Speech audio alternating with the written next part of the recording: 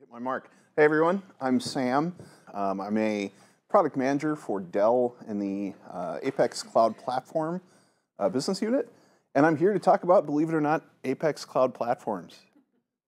So you've heard our ground to cloud story. I always get this reversed, so bear with me here. You've heard our ground to cloud story of taking our best of breed Dell software uh, defined storage technologies, bringing them up into the cloud for consumption there. And I'm here today to talk about the opposite, from uh, cloud to ground. So what does that mean? So first off, we've seen, you know, in interviewing customers, looking at research, looking at studies that we've done, we've seen a lot of challenges to bringing cloud to ground technologies, bringing platforms from the cloud to on-prem. What do those challenges look like? We've got, you know, unpredictable costs. So not knowing what it might be today, not knowing, well, if I got to burst into the cloud, what's that going to take from a cost perspective? Management complexity.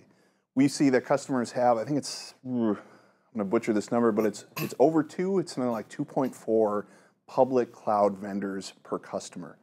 So if I'm a customer, I'm looking at multiple cloud vendors. Might be Azure, might be AWS, might be Google, might be OpenShift or, or VMware. But I've got a number of cloud vendors. That comes with management complexity. vSphere and Azure, pretty different stuff. You know, at the core they're the same, but managing those things takes a serious skill set and often a number of FTEs. How do we get past that? Cloud inconsistencies. So things like, well, if I have to define an SLA here, um, it might be different. Oh, we lost my screen. Am I, am I okay? We good? Okay. Can I keep going? Yes. All right. Um, cloud inconsistencies. Things are different from cloud to cloud. We know that they're different from cloud to ground. Skill, skills gaps, like I said, hey, if you're going to manage um, Azure, to manage OpenShift, going to manage VMware, that's likely different staffs. And then finally, limited visibility. Well, how do I know what I've got where? I don't have a central place for all of those things. So how do we solve those things? So what I'm going to introduce today, and we've had a number of discussions about these, a number of presentations, is our Apex Cloud Platform. What does that mean? What is an Apex Cloud Platform? Um, and what we're doing really with a cloud to ground is we're taking those cloud vendors and their platforms, like Red Hat OpenShift, Azure, and of course familiar VMware, and bringing those down into a kind of unified system, the Apex Cloud Platform. Before I get into some of the details on that, what we're trying to do, what I call the three C's here, all of those problems that we saw earlier, management complexities, skills gaps, et cetera, we're boiling them down and solving them via a few different things, three C's. Choice. You know, what, what are my vendors? I've got those two point whatever vendors on average, um, cloud, uh, public cloud vendors, and I need to have choice. I need to be able to continue to leverage those, but in a consistent manner. So consistency. How do I take the same building blocks, apply them to my multiple cloud vendor platforms on-prem, and do it in a consistent manner, where it's, they're managed consistently, they're deployed consistently, serviced consistently, et cetera. And then finally, control. So I have these different cloud platforms. How can I control them in the similar way? So that if I have an FTE, and I have an FTE going from platform to platform, they know like, okay, I got to replace a disk. How can I do that on this platform and on that platform? Same, same thing, same control. So, what is an Apex Cloud Platform? Um, and we were talking earlier off camera here. Um, I came from the VxRail business group beforehand. Um, now I'm on the Apex Cloud Platform business group, and the reason that's pertinent is we are taking the same lessons that we've been building with VxRail over the last eight years and applying them to our multi-cloud portfolio. You'll see on the left, the Apex Cloud Platform Foundation software. This is the, our big value prop right here. This is the meat of what makes our things consistent. Whether you're getting a Azure Apex Cloud Platform, there we go, cool. Whether you're getting, that makes it easier for me to talk to as well. Whether you're getting an Azure Apex Cloud Platform, a Red Hat OpenShift, or a familiar VMware Cloud Platform, you're getting the same kind of controls built into those vendor stacks. Not going to drain that thing on the left yet. We'll talk about that in a little bit. It is some of our secret sauce, but our other secret sauce in the recipe here is a Dell Enterprise SDS. You just heard a lot about PowerFlex, about its scalability, about how open it is um, and its resiliency in our previous session here, but we're leveraging the same SDS in our Apex Cloud Platform on-prem. So we're taking that, we're taking these softwares and pairing them with PowerEdge. of course, we're familiar with PowerEdge. We're in what, 16th generation of PowerEdge right now. We'll be building out, of course, into 17G and beyond. But we have our uh, PowerEdge with our fourth gen Intel Xeon processors. We're building that extreme resiliency, the best of breed uh, servers on the planet into ACPs. ACPs, by the way, if I shorten that, and I do it a lot, that's an Apex Cloud Platform, ACP. So bear with me there. So we're, really, we're taking software to manage, software to serve your storage, and best of breed hardware, putting it in a very familiar box and saying this is an ACP. Like we've built with VxRail for the last eight years, we're doing that same thing, taking that same level of awesomeness and building it into an Apex Cloud Platform. So what, what do common building blocks give us? What do we get by saying, hey, we've got these building blocks, these same things we're using for every ACP? We get that consistent MNO. So again, like your MNO strategy, whether it's um, dial home or whether it's swapping a disk, building a volume, that MNO is going to be consistent across your different vendor platforms. Really cool stuff. Flexibility. So now that you have ACPs and you can deploy them in the same manner, you've got VMware, you have um, OpenShift and Azure, you can deploy those um, flexibly and have different, sorry, uh, different deployments for different workloads. Finally, or not finally, continuing your shared SDS. So your shared SDS is your PowerFlex. It's the same linear scalable thing, same thing that you just saw um, with the ground to cloud strategy. We're doing that same thing with PowerFlex SDS inside ACPs. Of course, embedded security features and uniform experiences for support services. So things that you know a lot of customer, customers consider table stakes that you might not get with other multi-cloud um, offerings. We're bringing that all into common building blocks. And in the future, common building blocks will allow us to do even cooler stuff. So Cloud Platform Foundation software. Um, again, coming from a VxRail background here, a lot of folks remember this as VxRail Manager.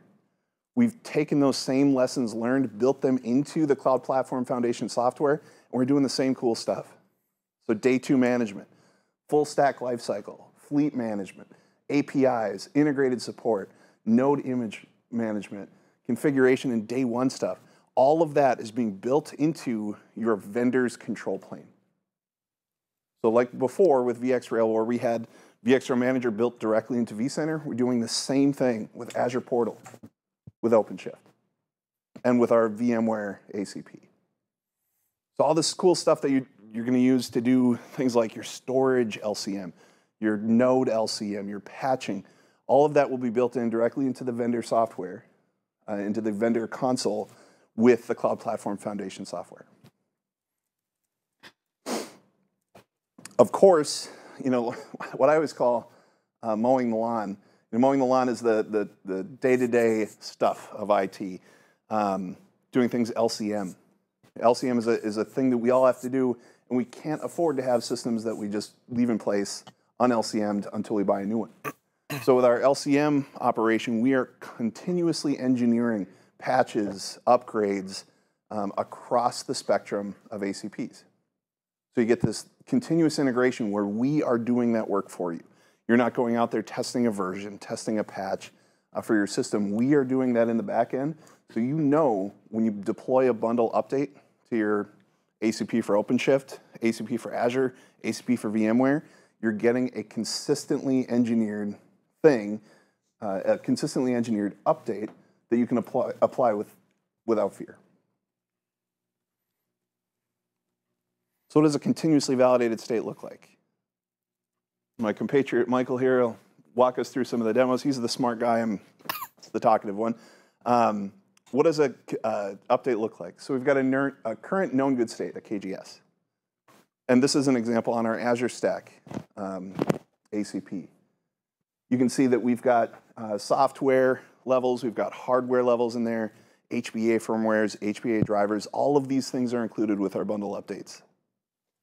as we progress via that bundle update, our updates will provide uh, the patch level, the known good version to your next known good state uh, from software to hardware. And a lot of times it's just a, it's a disk in HBA firmware that popped up, and we do that continuous testing so you don't have to. From there, we also support patching. You don't have to do it all at once. You don't have to do everything at once. We can do an emergency patch. And we do this all through that um, ACP Cloud Platform Foundation software. So, um, the backbone, uh, or the, the backbone of our storage for ACPs, um, and our ACPs have a number of different storage options. Um, so, you know, disk levels, uh, SLAs, performance. Um, it's all based on our SDS platform, PowerFlex. It's got that same crazy scalability. It'll deliver crazy performance numbers that I'm not going to put on screen because I saw it happen last time. Uh, but we can really, really scale. We can be linearly, linearly, it's a tough word to say, we can linearly scale uh, not only for performance, but for resilience. You can start from a few nodes, grow to hundreds, and share that SDS inside of your ACP to your different um, ACP nodes. I have a question about the ACP nodes. Please. It sounds like it's basically offering a standardized version of compute. Like this is basically IaaS, right? Mm-hmm. If I am consuming other cloud services that are not core IaaS, I'm using, say, I built an application that uses Lambda, the API gateway, S3, and DynamoDB. Am I going to be able to manage that with this solution, or does that fall outside the bounds of an ACP? Can we push that to when I get up? Because what what I'm going to show you once in just a few minutes here is actually I'll take you inside of those so you can actually see the interfaces, and I think it'll make a little more sense. Okay. So sure. we'll, we'll just revisit your question shortly. Sounds good. And I'd like to ask a more product manager question. Sure. I may. Uh, you mentioned you know integrations with like Red Hat, mm-hmm. Microsoft, which I assume is Azure Stack HCI, yep. and VMware, which is probably like Cloud Foundation or something like it. How closely do you have to work with like your peers at those companies on the integration, and how does the, if at all, does the recently terminated contract between Dell and VMware affect that relationship? Sure. So uh, to answer the first part of the question, I mean our um, and hopefully folks on the line heard that as well. Um, to answer the first part of the question, our PDM teams work with our partner organizations every single day. I mean, we are constantly co-developing, uh, sharing ideas, uh, building these out in the same manner um, across our ACPs every day. So we have folks working with, uh, like our, our Azure Stack team, for instance, are constantly engaged with Microsoft on upcoming releases, um, upcoming strategies, et cetera. We're always working with our partner orgs. Um, now, as to the second question, um, VMware, you know, so what we are doing here with ACPs is providing our customers uh, a choice. We, we're giving our customers a choice that no matter what uh, cloud platform they want to pick up, whether it's one or many, uh, they're going to be able to do that with our multi-cloud offerings and with Apex Cloud Platform. Um, as to the contract, um, nothing changes for us. You know, we continue to develop um, our you know, relationship with Broadcom is strong. We'll continue to develop our HCPs and VxRail platforms. Um, so really for us, nothing changes. Okay. So finally, um, just to kind of summarize what's inside an Apex Cloud platform, because I want to be really blunt about it, um, I, I find that helps sometimes. You know, it's a, it's a box. And inside that box, we have our best of breed stuff. We have a partner, partner cloud platform stack, which is a tongue twister. Um, so again, VMware, continually, continuously building with VMware, uh, Azure Stack, and Red Hat OpenShift. We're going to be, we're all in with those folks. We're going to continue to do that. Um, our Apex Cloud Platform Foundation software, same thing we've been doing for years, and the same thing our customers have given, given us tremendous feedback on uh, for almost the last decade. Uh, that software will give you that automated MNO and that consistent MNO no matter which ACP you pick up, one or many. Uh, latest generation PowerEdge. I mean, I don't know what else can be said about PowerEdge, can't be beat. Uh, and then finally, the Dell SDS. So that PowerFlex, uh, PowerFlex software that gives us an extremely scalable um, and performant uh, storage backplane for our ACPs. When you buy an ACP, uh, no matter the flavor, these are the things you're getting. So um, just to kind of wrap up here, um, what we have done or what we've attempted to do is really remove those barriers. And I'm going to skip ahead here a little bit, just in the interest of time. Where we saw those uh, challenges before, these are the things we're checking off. You know, we're making sure that our customers can pick up um, their different cloud platforms, do it in a repeatable manner, do it as fast as possible, um, do it in a scalable and consistent manager, and or, or scalable and consistent way, and finally manage it all in the same direction.